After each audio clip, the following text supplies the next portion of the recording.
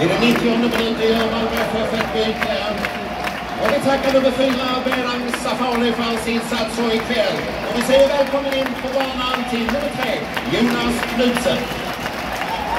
Och mina damer och herrar, vid den 90 minuten så gör Malmö FF 4-3. Han gör sitt andra mål för ikväll. Allas våra nummer nio, Marcus!